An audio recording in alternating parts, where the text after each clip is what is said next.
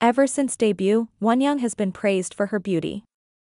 Her makeup, style, lifestyle and visuals have all become trendy for its charming princess-like aura.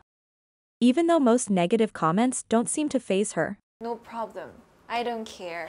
You are you, I'm me. She is human and she recently opened up about one of her insecurities in the recent Allure video, when asked, You're so perfect, do you have any complexes? She replied that she doesn't like the appearance of her big cheeks and she tries to avoid looking swollen.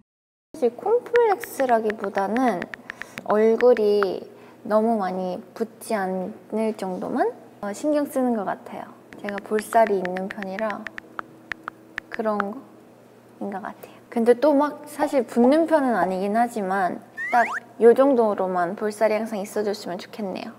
Even though most idols hate having a swollen face because it shows up more on camera, Wonyoung's cheeks are what makes her cute. These days it seems Wonyoung is going for a more mature style, but she's Wonyoung so both princess and mature style suits her.